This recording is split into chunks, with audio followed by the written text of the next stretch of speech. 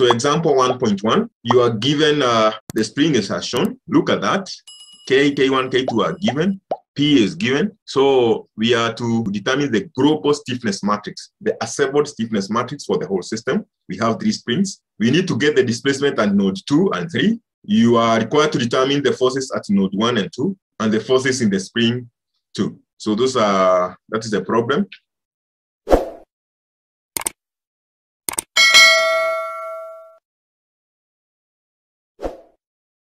We have looked at this uh, example very quickly. Uh, this one, you remember, we said keep it at the fingertips that uh, k, k for an element will be k minus k minus k, k, okay.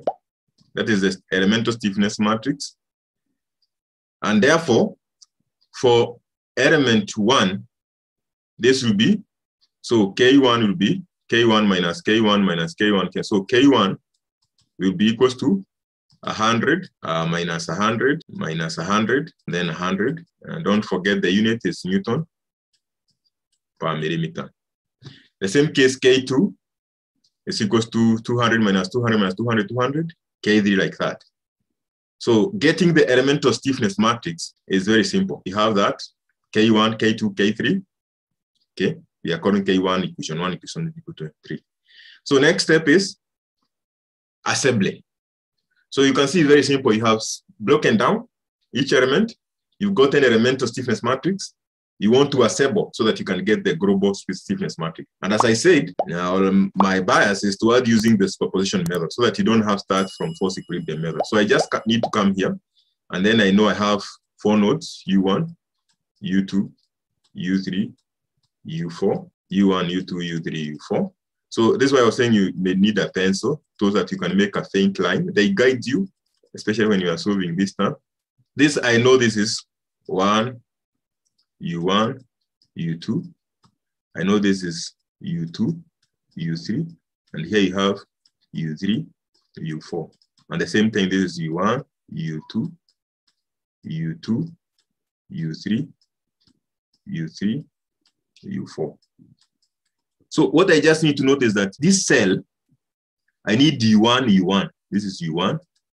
Note that, as I'm saying, this U1 I'm putting at the end, these are not part of this uh, matrix. So don't make them so pronounced, eh? like, like they are part of this. Okay, they are just to guide you. So I need to, this cell, I want to put U1, U1. So when I come to matrix, to stiffness matrix K for K1, I know you, I have element U at U1, U1, I have element 100.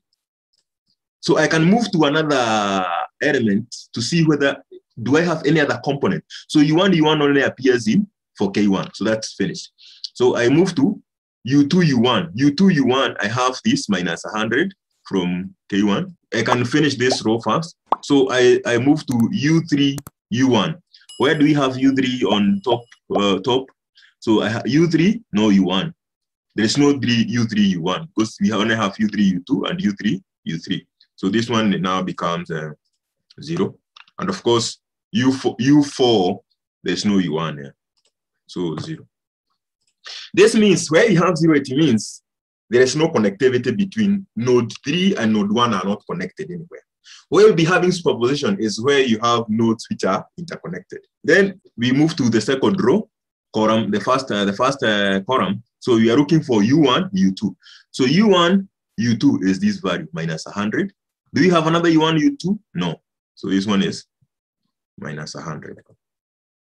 Then uh, this is U2, U2. We are looking at U2, U2. For the element one, you have this 100. And again, when we come to K2, we have U2, U2 as 200.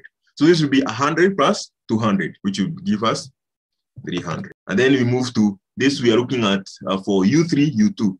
So U3, U2. So but by inspection or by observation, you can see when we have finished with U1 and U2, and U1 and U2, we have covered it here. It's like we are done with element one. So U3, U2, you look at U3, U2, we have minus 200. U3, we don't have another one. So this one becomes minus 200. Again, uh, U4, U2, U4, U2 is, U4 is only in element three. So U4, U2, eh, we don't have U2, so this becomes zero. So finally, you can continue like that. So you can see where superposition is occurring. Where you're having superposition occurring is where they are shared nodes. Like this one we have found is eh, addition of 100 plus 200. So and so on and so forth. With that, you can be able to apply the principle of superposition. You can obtain this equation. And this is what I was deriving in the previous slide. So you can see where we have this summation, where they join U2 and U2. This is one, two, three, four. So you're looking at this. Node 2 is shared, node 3 is shared. So that's why we'll be having superposition between U2, U2, U3, U3. We have that superposition. All the other nodes are not connected. Now with that, we have obtained what we refer to as uh, the global stiffness matrix. Very simple. So this is just a simplification. You add the values. This is showing the steps, workings, and then this is the global stiffness matrix. The other part of our question was on how do we determine the displacement of nodes two and three? Now we have the global stiffness matrix, so we can be able to get the global finite element equation. So equilibrium equation, what you just need, equilibrium equation is the same as finite element equation. So what we are now introducing is this part. Eh? We are introducing, so we, we already determined what's the global stiffness uh, matrix. So we need to introduce now the the vector of the nodal displacement. And on this side, we have the vector of nodal forces. And then using the boundary condition, we can substitute these values. So F1, of course, is not known. This is the reaction at this node, the F1. Then uh, we have the F at node 2, F at node 3, F at node 4. And uh, values are given.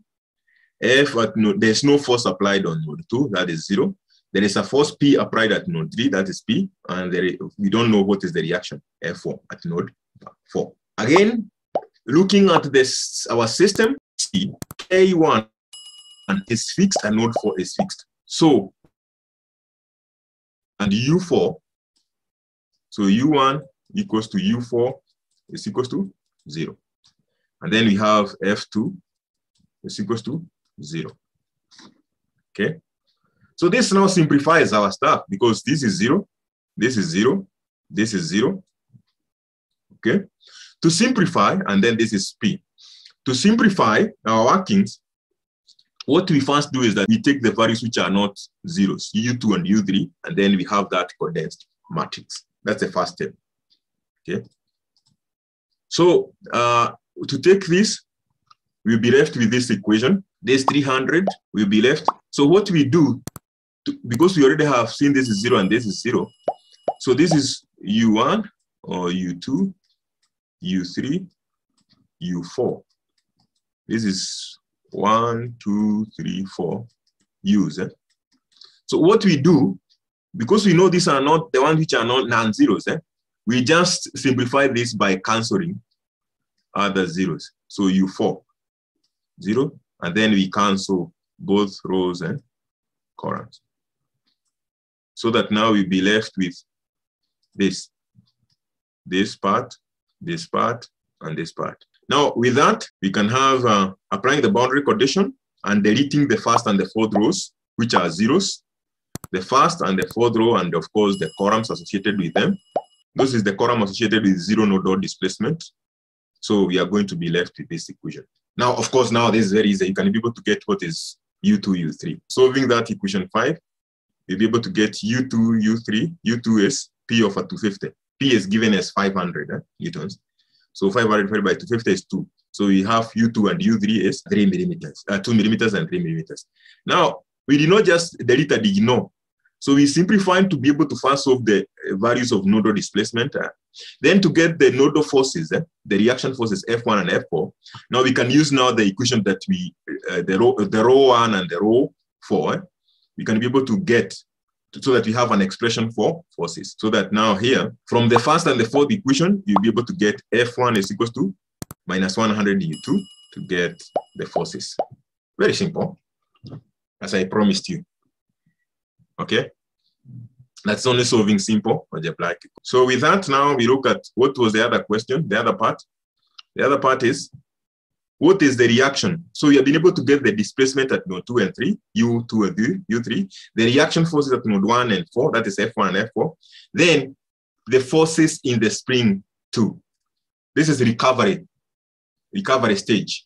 We are recovering the values. We are determining the values for individual element, the internal values. What we need to do is we need to calculate or to write the finite element equation for that single element because the internal, the nodal forces eh, that we need to calculate, eh, this is now element. We need, we are going back to the breakdown state, and then we are saying for this element one, we have this element one, we have force acting on node one of element one, and force acting on node two of element one. And we know the elemental equation F is equals to K uh, KU. Of course, remember to put the braces and, and the square bracket. Eh? Okay.